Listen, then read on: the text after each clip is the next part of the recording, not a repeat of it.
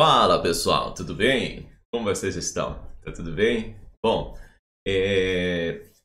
vocês viram no primeiro vídeo que eu formatei os dois PCs, né? Tanto o PC da nuvem quanto o meu PC aqui físico, né? Que é o, o notebook.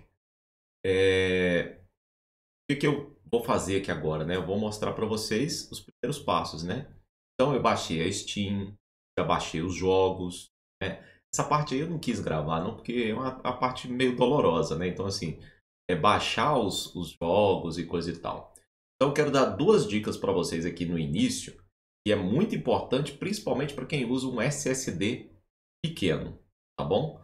Bom, primeira coisa é aqui, ó. Vocês vêm aqui no explorador de arquivos, e aí vocês vêm aqui em seu PC, tá bom? Eu não preciso tanto dessa parte porque o PC virtual ele já vem com um SSD NVMe de 1 tera no disco principal.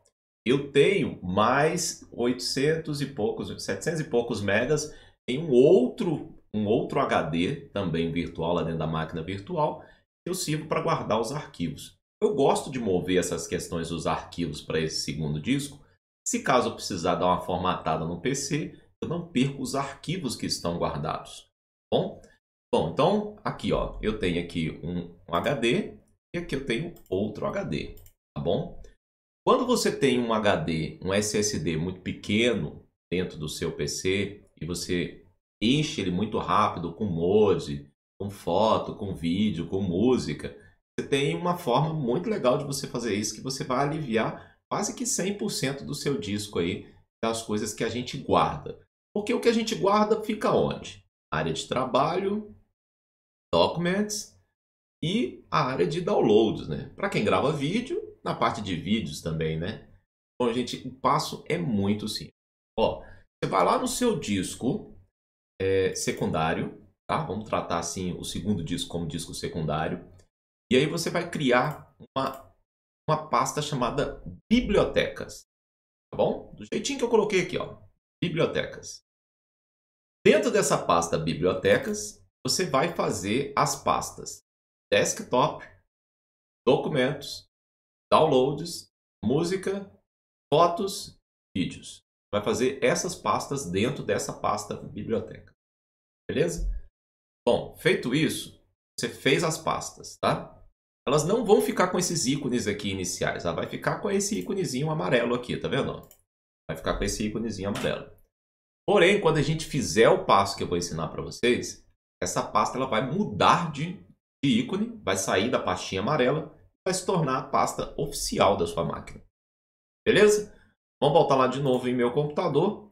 Você vai clicar aqui em cima, aqui, ó, por exemplo, desktop, tá vendo? Ó? Vendo aqui na, na área de acesso, ou quando você clica aqui em computador também, ele aparece aqui em cima. Vamos fazer pelo computador, apareceu aqui em cima, clica com o botão direito, vem em propriedades, e aqui em propriedades você vai procurar local. Você vai clicar em local e vai clicar aqui ó, em mover, tá vendo? Ó?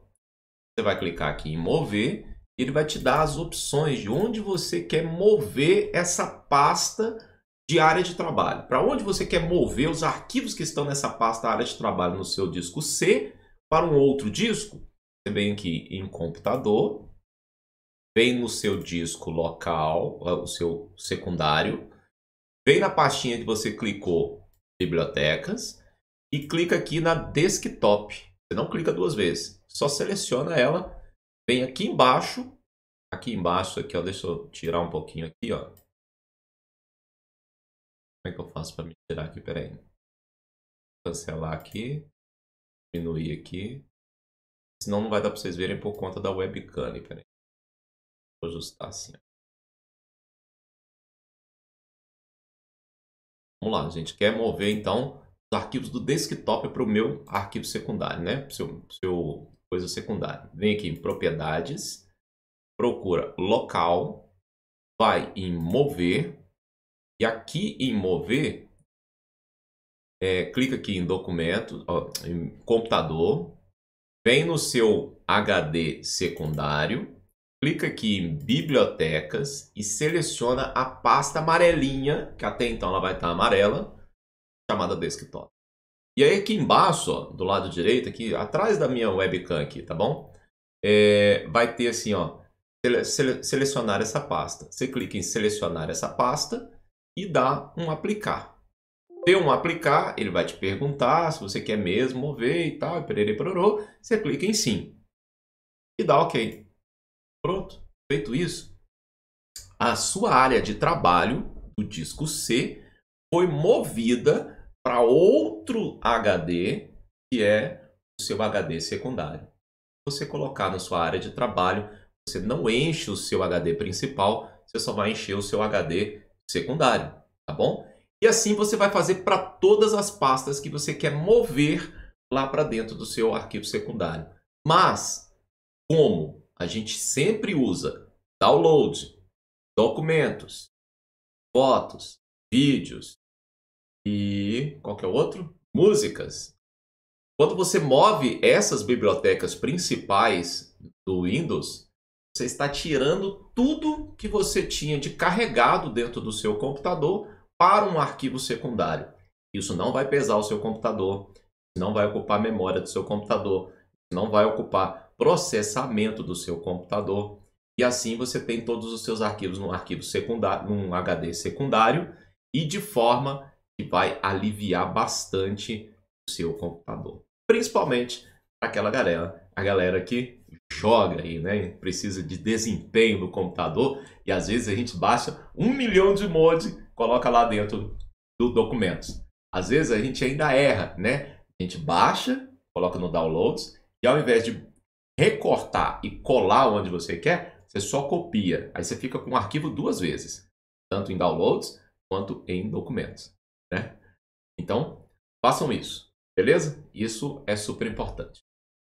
E a segunda dica, que é a cerejinha do bolo, eu vou vir aqui e vou mostrar para vocês aqui no YouTube, tá bom? Vou dar uma super dica aqui de um cara que eu aprendi muito com ele. Vocês vão vir aqui na barra de pesquisa e vão pesquisar aqui, ó. Tito, ó, formata. Beleza? Só colocar essas palavrinhas aqui, ó. Tito formata. Clicou aqui, vai aparecer esse cara aqui, super gente boa, super gente fina, que ele te ensina como que você deve formatar a sua máquina de forma correta e você não tem que ficar pagando 70 reais aí, né? 60 reais, 50 reais, até 100 reais para um profissional da informática para formatar o seu computador. Aqui ele te ensina passo a passo como você vai fazer, tá bom? Ele te ensina como é que você vai é, baixar a ISO do Windows e te ensina como é que você vai colocar essa ISO no seu computador e, por fim, no final do vídeo, ele também vai te ensinar uma otimização para PC gamer. Para você que joga, o seu PC é exclusivo para jogo, faça essa otimização que ele faz, que é incrível. Então aqui, ó, o primeiro aqui, tá vendo? Primeiro vídeo dele aqui, ele é um tutorial de como formatar e otimizar o Windows 10. Passo a passo. É assim, é pegar na mão e te levar aonde você precisa ir, tá bom? Então, Tito Formata, ele é incrível nessa beleza? Então tá aí as duas primeiras coisas que eu faço depois aí que eu baixo os meus jogos, tudo certinho. Eu faço, movo as bibliotecas do meu Windows para um HD secundário e também faço essa otimização aqui que o Tito ensina que é fundamental. Beleza? Espero que vocês tenham gostado. Fica aí, porque tem muito mais conteúdo para você que está iniciando, está startando seu computador, está formatando seu computador, o que, que você deve, o que, que você não deve fazer aí para o computador rodar bonitinho nos seus jogos aí. Beleza? Então, ó, conto com vocês aí nos comentários. Deixa aí o seu comentário, porque assim eu fico sabendo que você passou por aqui. E deixe seu like aí, que é super importante. E mande esse vídeo para os seus amigos aí que tem problema com os arquivos, né? Principalmente com arquivos, está enchendo o HD muito rápido. Beleza? E a parte de otimização de PC Gamer que o Tito ensina também é sensacional.